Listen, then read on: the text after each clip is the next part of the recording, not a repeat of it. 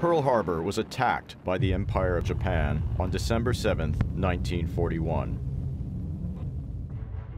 Japanese Americans were barred from military service and were classified as enemy aliens.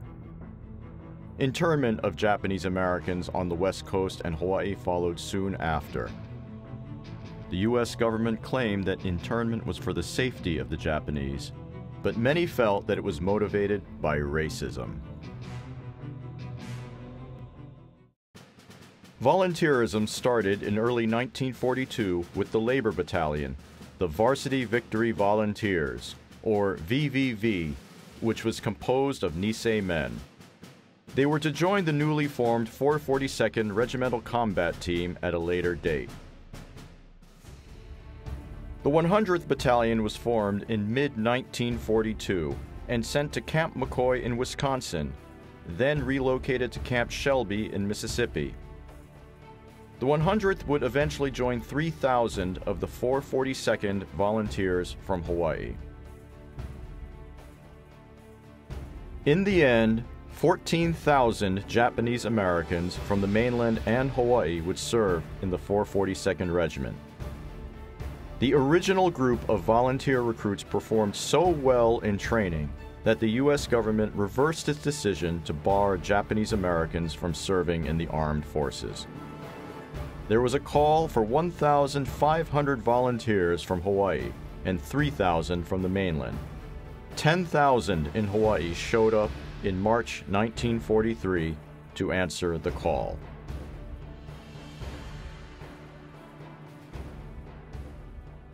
After heavy training, various units were sent to Europe where they fought against daunting odds in Italy and France. The 100th Battalion of the 442nd was the first to see combat in Europe. They landed in Salerno, Italy, in September 1943.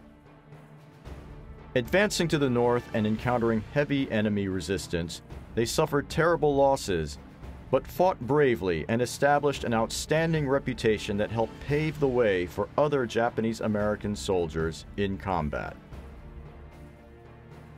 By June 1944, the remaining members of the 442nd were in Italy. They eventually made their way to Naples and Marseille in France, where they prepared for a trip to the Vosges Mountains, joining the 36th Division of the 7th Army.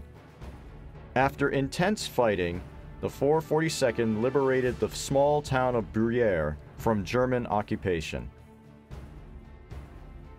They went on to liberate Biffontaine, and though exhausted, the men were given orders to rescue at all costs the 36th Texas Division, which came to be known as the Lost Battalion, saving more than 200 men. By the end of three weeks in battle, half of the 442nd were either wounded or killed.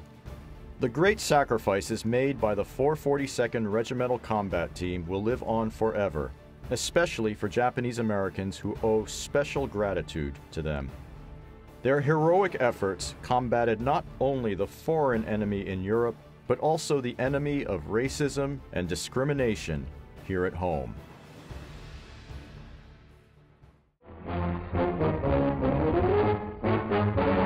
Regimental colors are brought forward to receive the 8th Presidential Unit Citation held by the 442nd.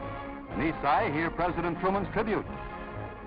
You fought not only the enemy, but you fought prejudice, and you've won. The AJA, Americans of Japanese Ancestry Veterans, were given a hero's welcome when they began returning to Hawaii in 1946.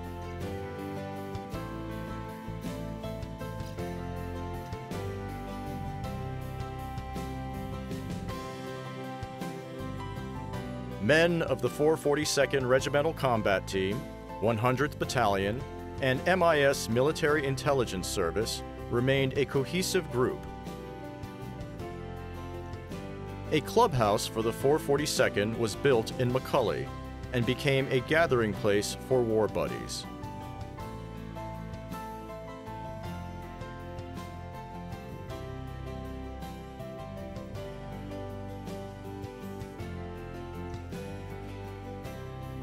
The veterans themselves reflect those who contributed to Hawaii's post war success story. The men, then in their prime, started new businesses or returned to family businesses started by their Issei first generation parents. After the war, yeah, there were a lot of people whose families had started the business, and um, now you have the, the sons coming back who've been exposed to everything the world has to offer instead of being just from Hawaii they came back, the world was never going to be the same for them again. They were not going to go back to the plantation era. Because of their war experience, look, they had leadership ability, a lot more education, broad-mindedness, much more cosmopolitan in their world. They had a world view that went beyond the shores of Hawaii. So, uh, and they had ambition.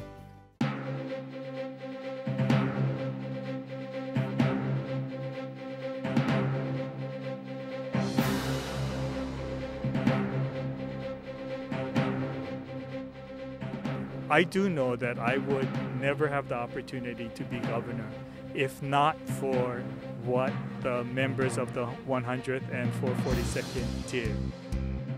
The AJA veterans fought a war for an equal and better society and returned to their family businesses, started new businesses, or found new careers. But they needed real and tangible power, politically and economically.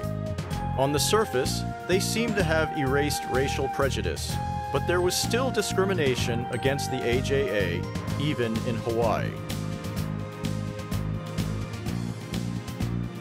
Uh, some of these men, and, including my grandfather, had been corresponding with some of the uh, American Japanese ancestry in the 442nd, and some of them were writing letters, and they were they were in hospital beds in Italy, uh, recovering from their injuries in the war. They're writing letters saying stuff like, okay, we risk our lives fighting for the United States, but what kind of Hawaii are we going to come back to? Do we have to go back to the plantation?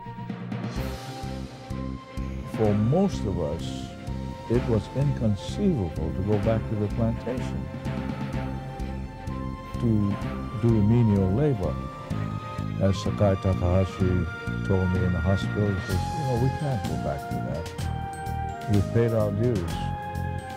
And so we decided to do something about it. It started in 1954 in the Democratic political revolution when the Democrats took over the state legislature, but it culminated in 1962 because 1962, when my grandfather became governor, um, he was then able to um, pass his agenda, which broke the Big Five's control over the state. Uh, I met Jack Burns for the first time and Jack Burns started to ask me a lot of questions about my feelings for Hawaii. And it was on that, uh, after the, about 15 minutes, he told me to run for office. I first thought he was talking to uh, somebody else. I turned around to see, and then he said, no, you. With the encouragement of John Burns, many returning veterans ran for territorial office and won by a landslide in the Democratic Revolution of 1954. Their ads were simple, rustic, and low cost, but effective. Then came the arduous trek to statehood. While a delegate from Hawaii to Congress in the 1950s, John Burns spent countless hours in lobbying conservative Democrats. And he swayed the powerful Texas delegation with the story of the heroic efforts by the 442nd to save the lost battalion from Texas. My grandfather did form a really good relationship with Lyndon Johnson, who was the president of the Senate when my grandfather was territorial delegate to Congress. And he also formed a good relationship with Sam Rayburn, who was the Speaker of the House of Representatives at that time. And Sam Rayburn was also from Texas. So um, my grandfather would often remind them, and he would remind even the whole Congress of what the, the 442nd Regimental Combat Team had done in rescuing the Lost Battalion in 1944. Jack Burns did the best thing for Hawaii, I think. He really took care of Orientals and other races. He was fantastic. One recent Army reservist and a former member of the 100th Battalion, 442nd Infantry, had read an account of what the Nisei soldiers had done in World War II and admires their accomplishments, especially the story of the rescue of the lost battalion from Texas. He recalls a chance encounter with a stranger while vacationing in Florida. But I had a polo shirt on, and the polo shirt had on the full 42nd patch and a crest on over here on the chest. And so I was walking around. There was an elder, elder uh, Caucasian gentleman. He was walking with a cane, and when he saw my polo shirt, he stopped. He he changed the cane from his right hand to his left hand, and he got into the closest semblance of the position of attention that I guess he could at you know in his in his condition, and he and he looked at me and he saluted, and I, I was just I was kind of shocked. I said, "Sir, what are you doing?" He looked at me and goes, "I'm a member of the Lost Battalion." And he goes, "We made a promise that anytime we see somebody from that unit, we'll salute them." And I looked at him and said, Sir, with all due respect, I says, obviously I'm not one of those that rescued you. I'm not even a son or a grandson of one of those that rescued you. And he looked at me and goes, Young man, no disrespect, but I'm not saluting you. I'm saluting what's on your chest. After the war, when we came back already, we felt that, hey, we were no longer second class citizens. We were just as good as anybody else. It, it, this is why Dan Inouye keeps saying, yeah, Japanese and you know they, they said I'm a enemy and now all of a sudden I can be the leader of my country. You know that was amazing. After he graduated high school, he was working as a mechanics assistant at a gas station. So um, I guess if it hadn't been for the war, he often said that he might still be there um, if it wasn't for going off you know, doing his duty, coming back and taking advantage of the GI Bill, um, he might still be working at that gas station today. Not enough can be said about the GI Bill of Rights, which was signed into law by President Franklin Roosevelt on June 22, 1944. The veterans reaped its benefits, continuing on with higher education, which set them on a solid path for their futures. If you look at the record, number one, we took advantage of the GI Bill in a, like a flood, an avalanche. In my company, I think 95% of us did studies under the GI Bill. I went to law school as a result. You name all, Spark Matsunaga, Masaru Doi, George Ariyoshi, these are all GI Bill of Rights those of us uh, who took advantage of the GI Bill, and I think most of us did, that made a huge difference in what we were able to do.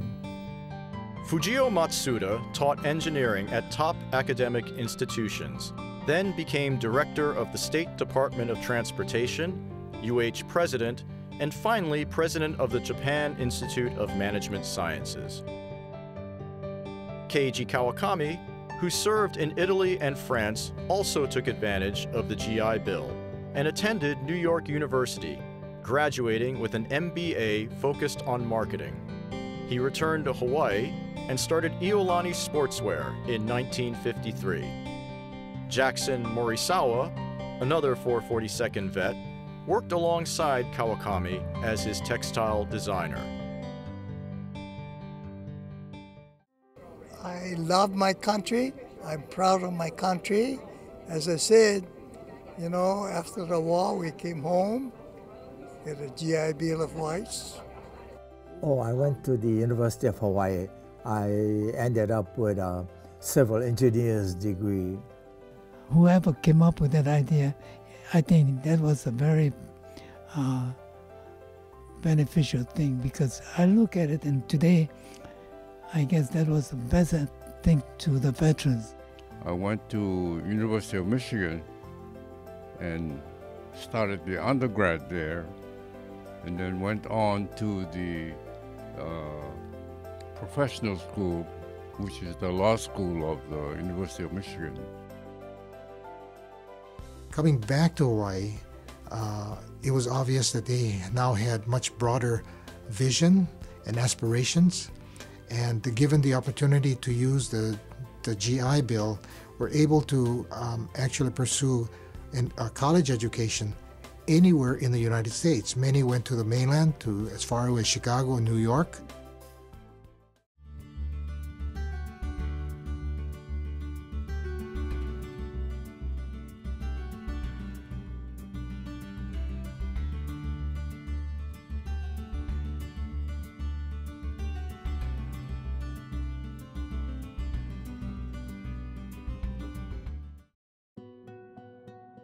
Although they were well educated, many of the returning veterans did not have assets nor immediate finances. Even John Burns, at one time, could not afford a home in Kalihi. Racial bars to home ownership in Manoa or Kahala, you know, and um, that reflected the society at the time. Um, opportunities were uh, very limited if you were not Caucasian, basically. Young lawyers, Elton Sakamoto and Sakae Takahashi, both returning vets, felt the need to create their own bank to help out the AJA and others who were struggling. Another key individual was Daniel Inouye. Meetings were held at Ala Moana Park because, believe it or not, at the time, these soon to be famous political figures could only afford plate lunches priced at about 50 cents. Thus began the establishment of Central Pacific Bank, which has grown to be a key player in Hawaii's banking community.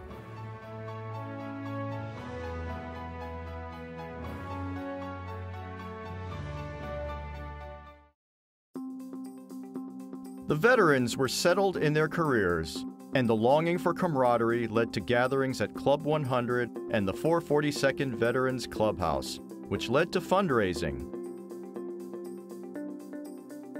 At times, King Street was even shut down for full blown parades replete with black Cadillac vehicles.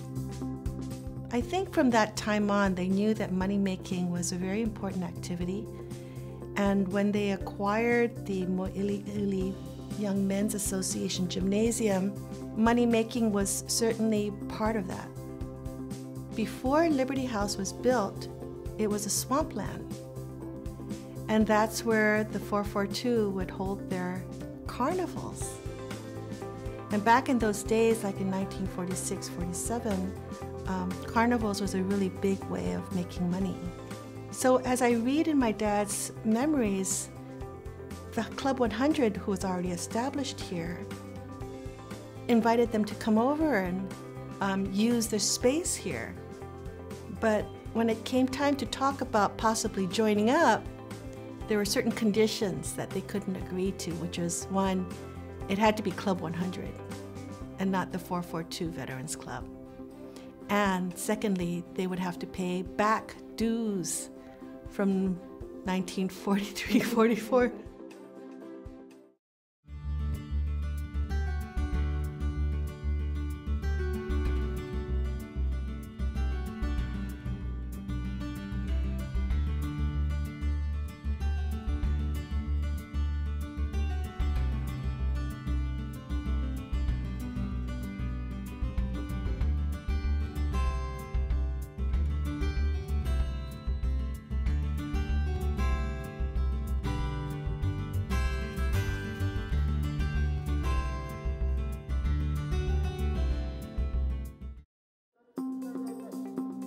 And who could forget sumo in Hawaii, first brought here in the 1960s by promoter Ralph Yempuku and his war buddies. As Mariko Miho mentions, by hook or by crook, they figured out a way to get things done. The 442nd was also a sponsor of Maui sumo wrestler Jesse Kuhaulua, who competed as Takamiyama and made it to the rank of Sekiwake, sumo's third highest rank.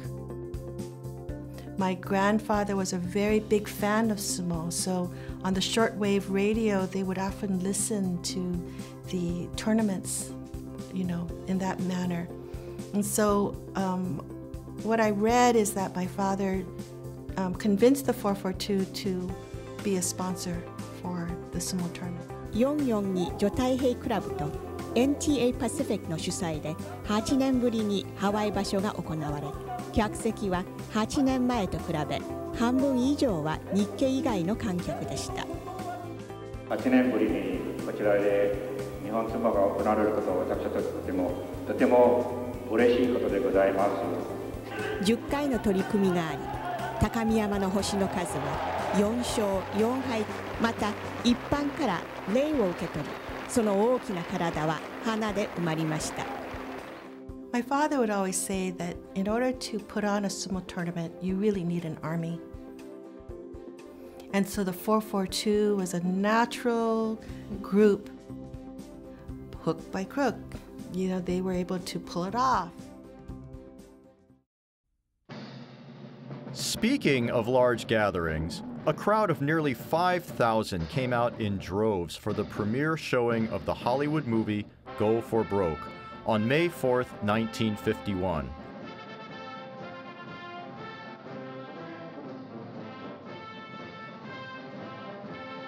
Fans, family, and friends lined the streets leading to Waikiki Theater to see the movie starring Van Johnson and some of Hawaii's own Nisei soldiers.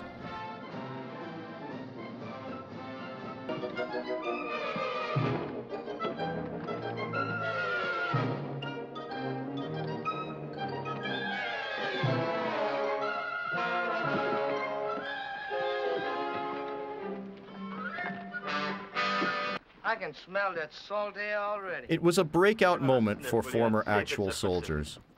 One of the vets turned actor, George Miki, played the part of Chick, a cynical Katonk, a mainland born Japanese American. In 1952, I was transferred to Stevenson, and all these girls were asking me, Mickey, Mickey, are you related to George Miki? Because they all had a crush on him because at that time, you know, he was only just turning 29 or 30. And they were, he was the Bobby Sox uh, idol for these girls. Guy gets into fight the Japs and winds up fighting with them. It's a hot one when you come to think of it. Oh, I don't know. A lot of us had parents who were born in enemy countries. Italian Americans, German Americans. That's different, sir, and you know it. Why? Well, it's just... The shape of their eyes? Or is it the color of their skin? What kind of troops are these? Chinese? Japanese. Didn't Hitler tell you? Japan surrendered and they're fighting on our side now.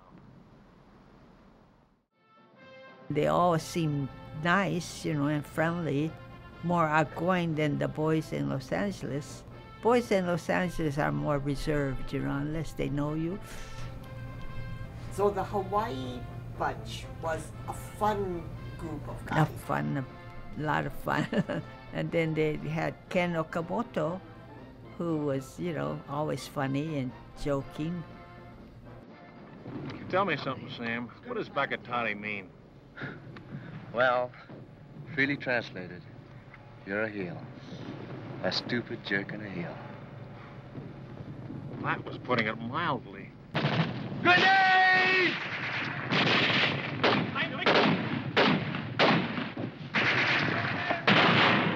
Go for broke! George Miki died in 1960 at the age of 39, succumbing to cancer. Daughter Leslie did not see the Go for Broke movie, but has these memories. I remember he used to like to whistle um, army tunes, um, doo doo doo doo doo doo, that one, and I would. I remember being in diapers and marching around. The Secretary of War, in the name of the President of the United States, as public evidence of deserved honor and distinction, the 442nd Regimental Combat Team is cited for outstanding accomplishment in combat. The gallantry and esprit de corps displayed by their officers and men in bitter action against a formidable enemy exemplify the finest traditions of the armed forces of the United States.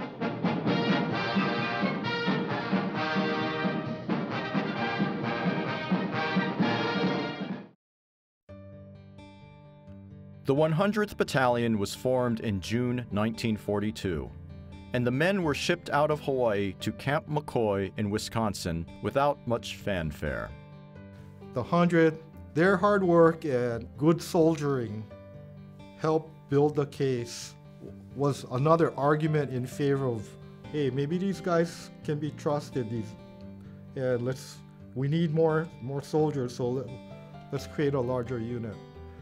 The 100 came first. They were actually draftees in 1940, before the war, and they were the first unit, um, Nisei unit, to fight in World War II.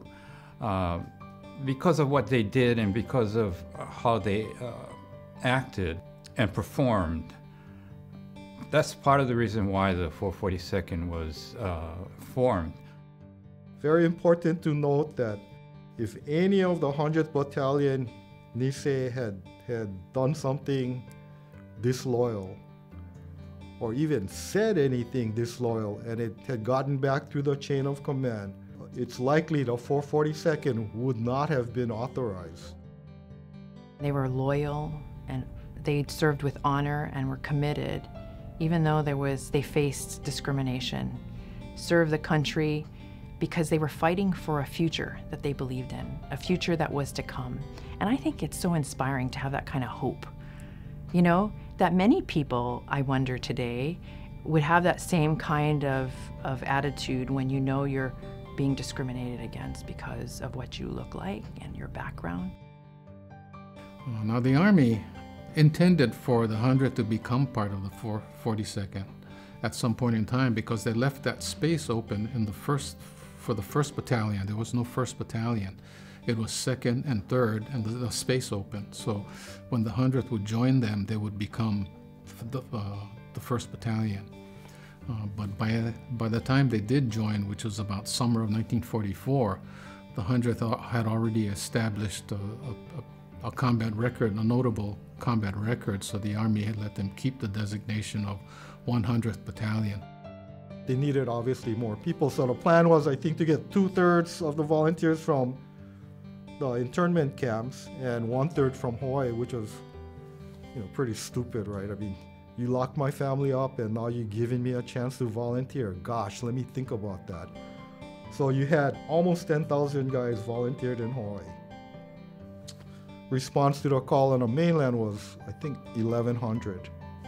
Okay. Out of the 10,000 here, they took, what, 2,600.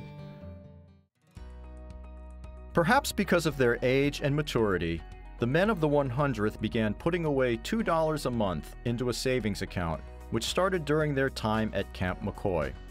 They wanted to have a place to come back to, to talk story, celebrate weddings, anniversaries, and special occasions. So they were very forward thinking and they decided to form the Club 100 and to put away $2 out of each paycheck every month and from the beginning, from training to the end of the war, and they came up with uh, uh, $50,000. Lots of people take credit for that. so, uh, but I, I, think the, the general uh, story is that one of the officers made a suggestion that, you know, you boys need someplace to stay at the end. Uh, because of the way they were, yeah, they were such a tight knit group. So that's how it started. And amazingly, somebody kept track of it the whole time and, and got the money home. Yeah, I did the math on it. and uh, through in- inflation only, that would be like a quarter of a million dollars uh, in today's money. So it was quite a bit of money. You think $2 is nothing, but um, added up, being that this was 1940, uh, in the 40s, uh, that money was worth a lot of. It, it was worth a lot.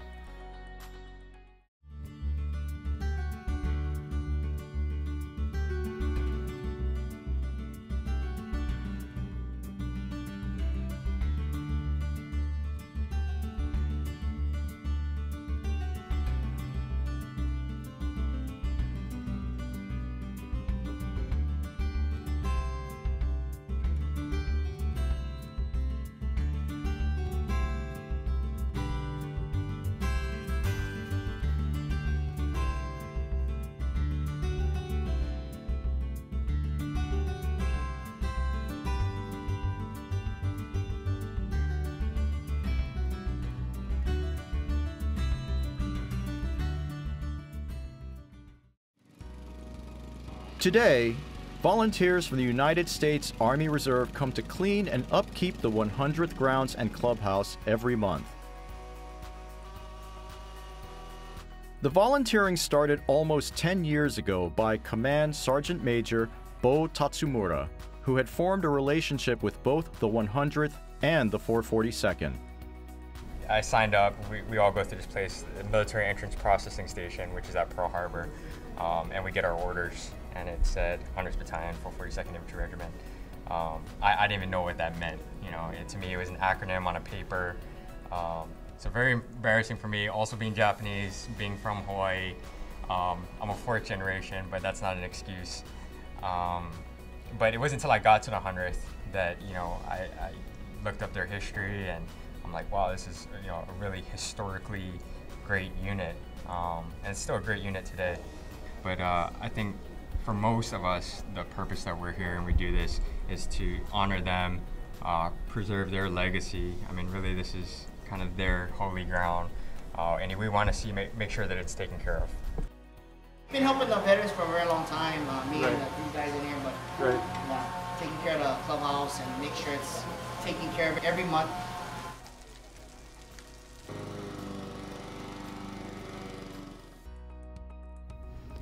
I think that many of them can if they understand the individual stories, if they hear and are educated, and they know what they have done.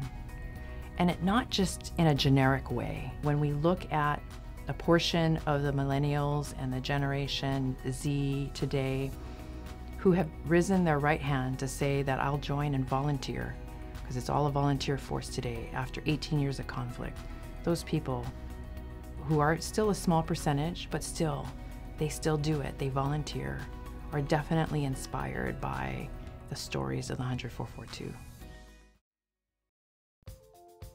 A young Hawaii student, 15 year old Heather Dinman is intrigued by the histories of the Nisei soldiers and World War II.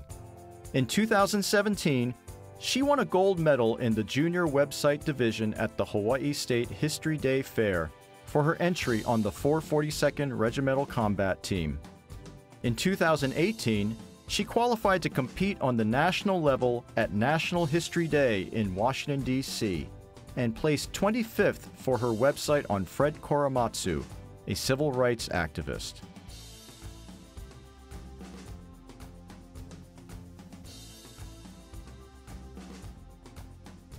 So Fred Korematsu was a Japanese American who actually stood against the internment and refused to compromise his civil rights by not reporting to the assembly center. So he stands for the many Japanese Americans who were wrongfully interned, including my great grandfather Joichi Tahara. I was interested in the veterans because my two great uncles actually fought in the 100th Infantry and the 442nd Regimental Combat Team. My uncle Nash Tadayuki Tahara fought in the 100th Infantry Battalion, and my uncle Fat Yoshiyuki Tahara fought with the 442nd Regimental Combat Team, so that's what stemmed my interest, as well as knowing how they fought so bravely and loyally for their country, even though the USA was wrongfully interning Japanese Americans who didn't commit any act of sabotage and espionage.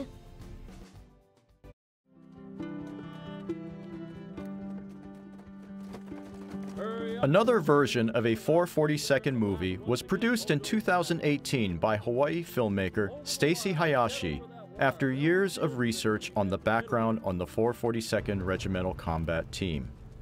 Go for Broke, an origin story, dramatizes what transpired before, during, and after the Pearl Harbor attack on December 7, 1941.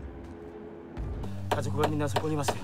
で、家族に彼がここにいることを あの伝えてくれませんか To see everything finally come together, you know, because this has been her dream and her passion for so many years, and uh, and to see it all come together tonight, I mean, I just. You, you, I got all emotional. I was like, "Oh man," you know, and then uh, just there's just so many people.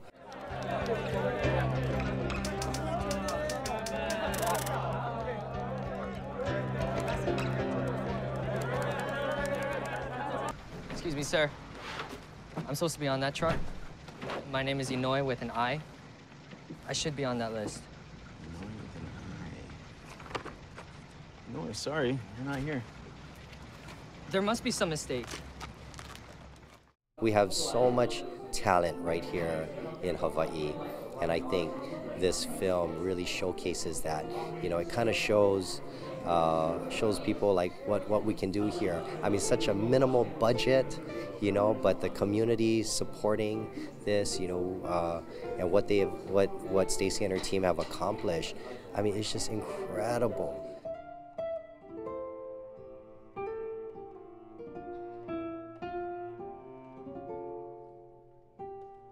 And when I read the sides, it really moved me and to know, because I, I know a little bit about the history before the movie about the 442nd and who they are and what they meant, you know what I mean, fighting for our freedom, Japanese Americans. is just, I knew the magnitude of it. I was, I knew like, I wanted to be a part of it, man, as soon as I read it.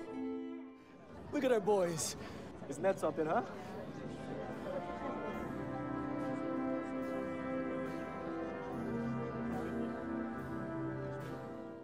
It's so important that this movie is respectful to the memory of the 442 veterans and the original 100th MIS as well.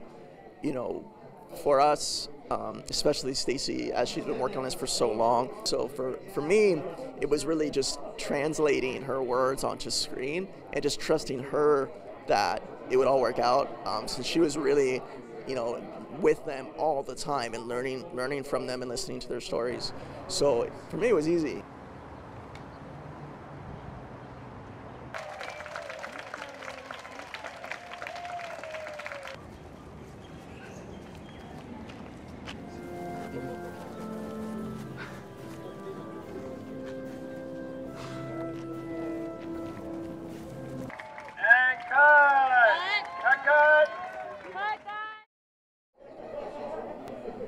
With few exceptions, cast and crew were from Hawaii, and some of the real life legends of the era attended the film's premiere at the Hawaii Theater. To survive this epic battle. I'm so glad that this has happened because I've always felt that there needed uh, to be historical factors uh, to immortalize the 100 and 442nd and how they trained and and uh, went to war and became the most highly decorated uh, unit in the military in the history of the United States of, of America.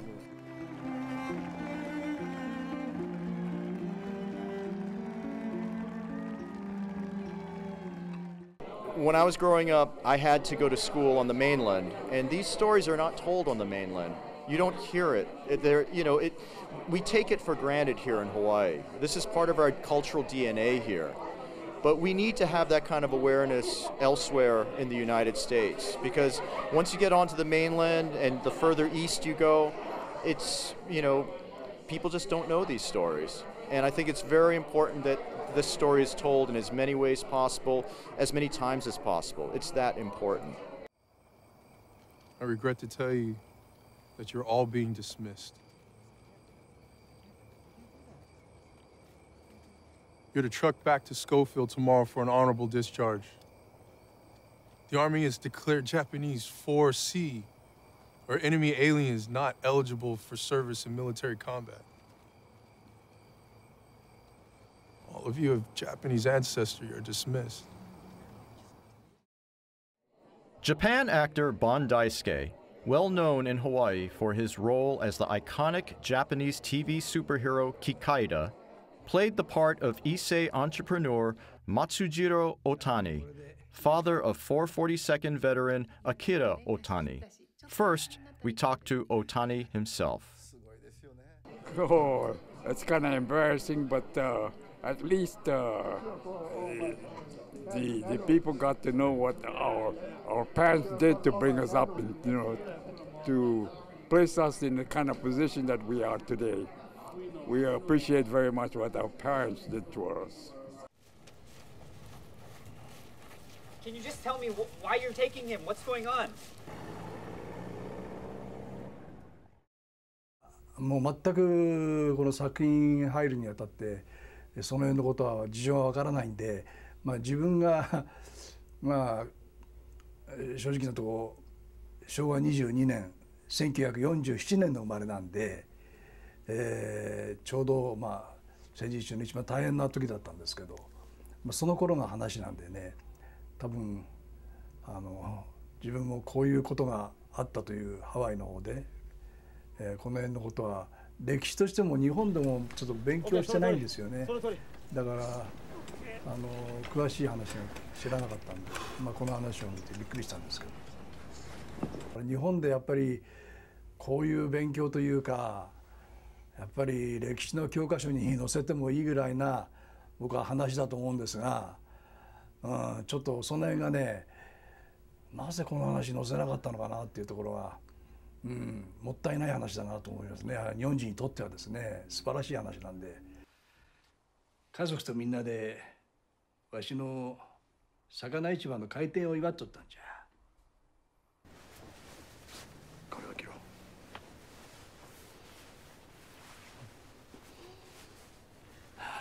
ありがとうございます。元気でな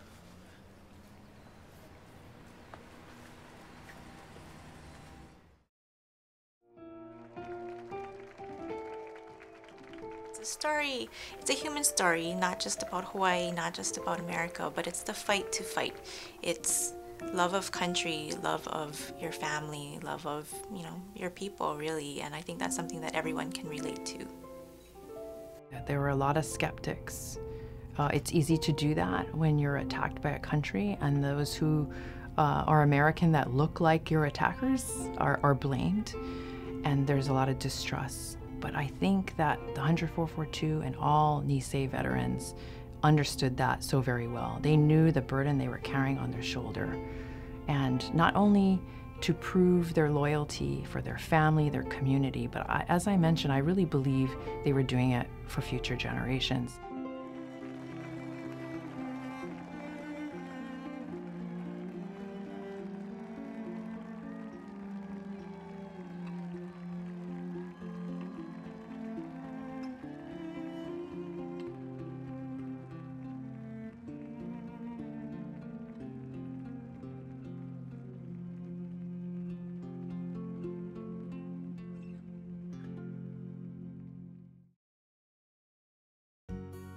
Slowly and steadily, restaurants, supermarkets, a countless number of bakeries, and other small to large size businesses emerged with the 442nd, 100th, and MIS veterans at the helm. They also became educators, prolific writers, healthcare professionals, and excelled in many other fields.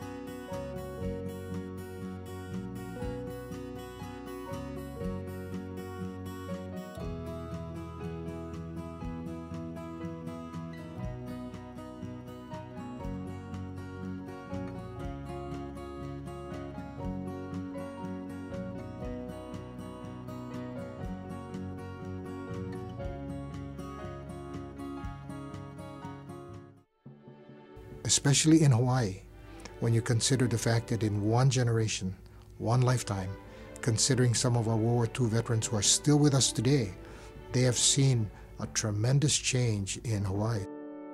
So Hawaii was transformed. If the word is transformation, Hawaii was transformed because of their experience. And yet they stood up and it generated something I don't think we could have anticipated or no one anticipated. Was an amazing movement of strength and courage and everyone, communities, families, and our Nisei veterans uh, bonding together uh, to fight tyranny and injustice, and then later on, you know, really uh, show that this is the American spirit. And I think it built the trust and confidence and really changed Hawaii. We went to Schofield. Yeah? Then the government saw, wow, these people, they want to prove themselves. And that's how they formed the 442. Naturally, we all volunteered. What inspired you to join 442? Okay. Oh, Hi there. I'm going to take a picture. One second, is that okay? to prove that we are Americans. Well, to me, we should all feel proud of ourselves. With all we went through, with the treatment we were getting, I think we did a pretty good job. I was fortunate because I was one of the first up uh, member to go to work at Pearl Harbor as apprentice because prior to our time, there weren't any Japanese in Pearl Harbor working. So that we were very fortunate to work for the shipyard. Listen to your parents more. This this modern age, I think they too much TV. they don't listen to the parents. They, don't, they have mind of their own anyway. As I said, we grew up in a great, great country. The country was doubtful of Japanese, and we took every opportunity to prove our loyalty. And as you know, we lost a lot of good men, but we, some of us who came back and served the country, as you can say, useful citizen. And, uh, and our family, again, are loyal citizens. We are proud of our country. The Sansei and those that followed were given opportunities and live good lives today. And their sons, daughters, and grandchildren have taken full advantage of those opportunities provided by these brave men. It is not an exaggeration to say that we owe this life to those who fought not only against the enemy in World War II, but challenged discrimination and suspicion at home.